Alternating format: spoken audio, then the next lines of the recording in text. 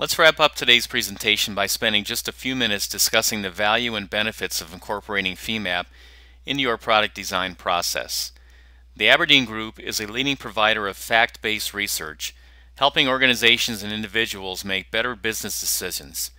They state that manufacturers must develop more products that are more complex for their customers, and they must get them to market in less time. The paradox, however, is that more time must be taken up front in the design process to perform simulation, so that time and money can be saved downstream during prototyping and testing. It's a fact that design changes identified early in the design process using simulation tools are much less costly in terms of time and money than design changes initiated late in the process during physical prototyping. Because of this, best-in-class manufacturers all use simulation early in the design process yielding fewer physical prototypes and allowing them to get their products to market earlier and for lower development costs. According to the Aberdeen Group, migrating to a 3D design solution is not just about designing models, it's also about taking advantage of simulation and analysis tools to assess and validate product performance. Top performers are much more likely to have been pursuing this strategy for more than one year.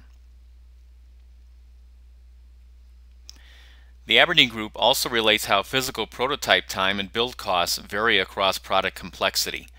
The chart indicates four levels of product complexity defined in terms of numbers of parts and length of development. Products that are virtually tested early in the design process using CAE tools have a higher chance of passing physical prototype testing the first time.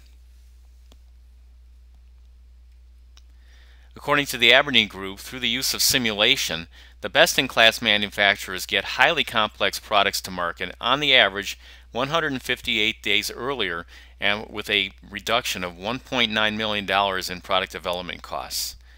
Manufacturers with simpler products still get their products to market on the average of 21 days earlier and save on the average of $12,000 in product development costs.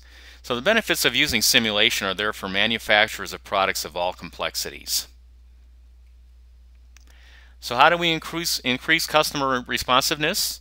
Through the use of simulation, we can reduce physical prototyping and hence time to market, lower the cost of design, and get a faster return on investment. We can significantly reduce material usage and hence cost, and improve product performance, which reduces product failure in the field and avoids costly recalls. Simulation also feeds innovation by allowing design flexibility and the ability to evaluate different designs in a virtual environment. This slide shows some of the major companies that have integrated FEMAP into their design process in the last two years. Many of these clients replace competitive legacy CAE products with FEMAP and NX Nastran.